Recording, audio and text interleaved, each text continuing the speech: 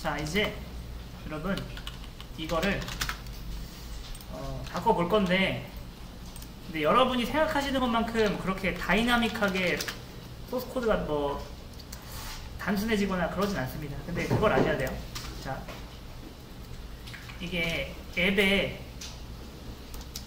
복잡도가 보세요. 만약에 앱의 복잡도가 한 이 정도라고 해보겠습니다.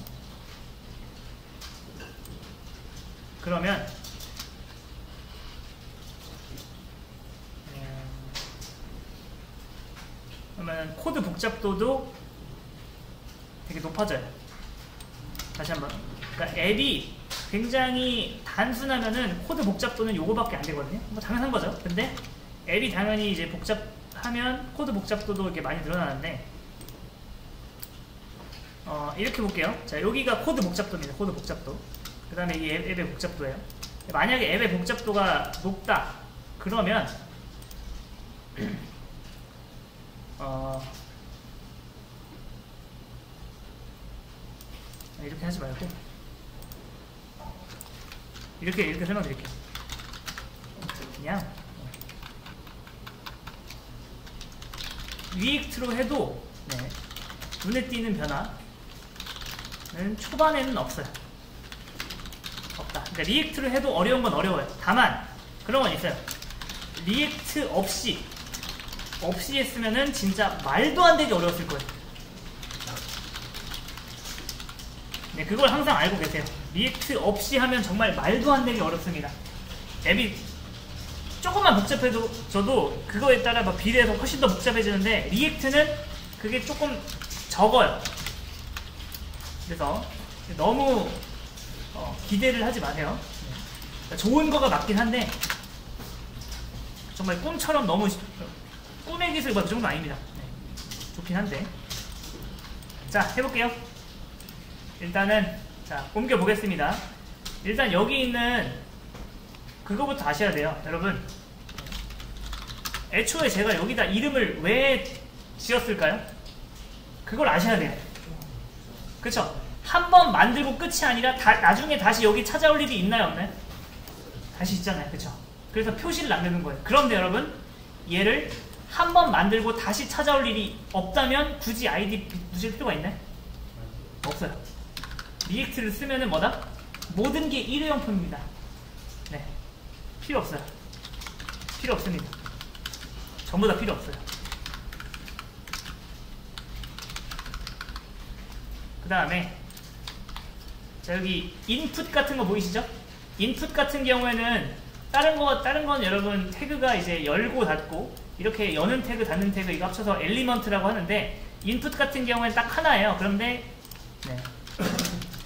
React에서는 여러분 얘를 확실하게 이걸 붙여줘야 돼요. 하나짜리는 무조건 이렇게 써줘야 돼요. 네. 이렇게 하고서 자 복사를 한 다음에 써볼게요. 자 그 다음에 이것도 필요 없죠. 요거 요것도 필요 없어요. 자 React로 옮겨봅니다. React로 저는 투투.kr dun 들어가서 네. 우측 하단에 요 fork fork를 한번 누르고 에디터 레이아웃이 저랑 다르신 분은 이렇게 붙이면 돼요. 이렇게 이거 눌러서 이렇게 하면은 위쪽으로 되는 거고 왼쪽, 위쪽, 오른쪽 이렇게 됐습니다. 자 해볼게요. 어떻게 하면 되냐? 그냥 여러분 여기다가 쓰면 돼요. 여기다가 엔터 한번 치고 여기다가 붙여넣기 하시면 됩니다. 그 다음에 소스 코드 정리 한번 해주시고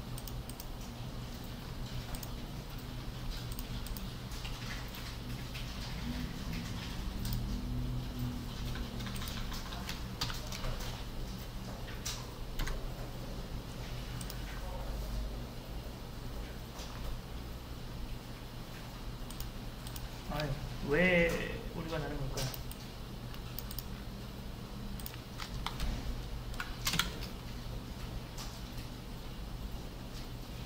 음?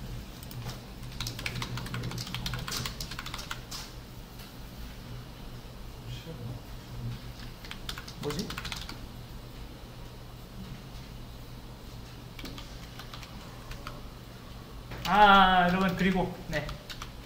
그 React 할 때 또 주의할 점 뭐냐면 자 스타일을 이렇게 쓸 수 없습니다. 스타일 스타일도 고쳐줘야 돼요. 스타일을 이렇게 쓰시고 여러분이 이렇게 쓰면은 요 안쪽에서는 JavaScript 형식으로 쓸 수 있거든요. 객체 형식으로 쓸 수 있습니다. 객체 형식으로. px 같은 거 빼주시고 이렇게. 이걸 합치면 이렇게 됩니다. 이걸 합치면은 여기가 이게 두 개가 되는데 이 두 개가 하나가 아니라 이 바깥쪽은 네 JavaScript의 시작을 알리는 거고 요 안쪽은 그냥 객체입니다.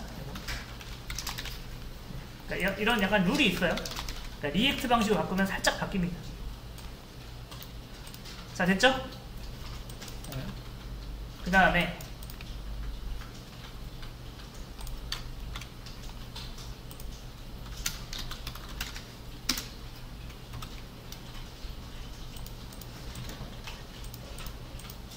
이렇게까지 해서 일단은 여기까지